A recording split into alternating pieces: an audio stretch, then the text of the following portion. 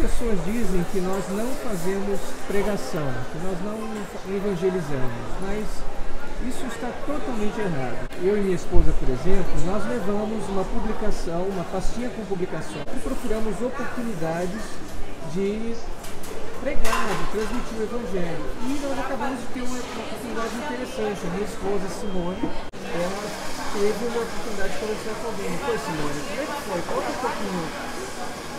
Então, geralmente a gente não tenta não panfletar, né? A gente não deixa aleatoriamente mas quando a gente naturalmente já tem uma conversa com alguém, já encontra alguém, é, por exemplo, a gente estava num balcão com uma pessoa e ela foi extremamente simpática e daí eu desejei, veio essa vontade de deixar uma publicação com ela. E quando a gente foi conversando, eu tinha deixado uma de um assunto específico, uma Aurora, para ela conhecer a revista.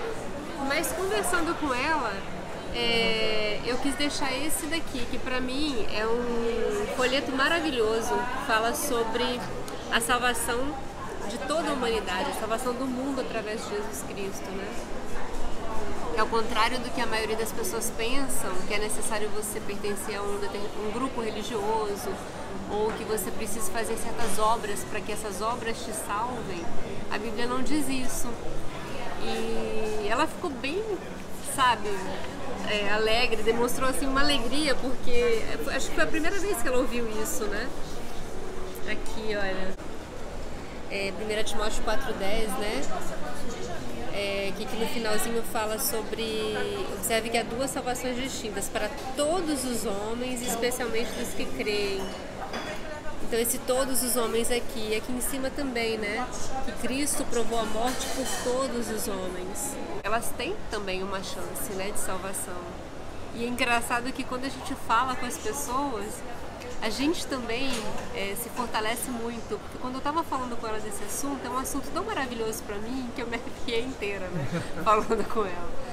Enfim, é Mas isso. É muito bom. Nós já tivemos muitas experiências é... boas assim, né?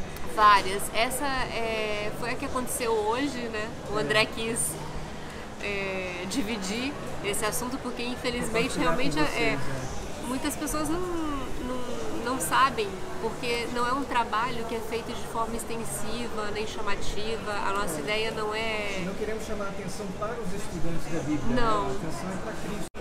É, foi um prazer então compartilhar com vocês. Um grande abraço a todos e que fiquem com a paz de Deus né, por meio de nosso Senhor Jesus Cristo. Tchau, tchau.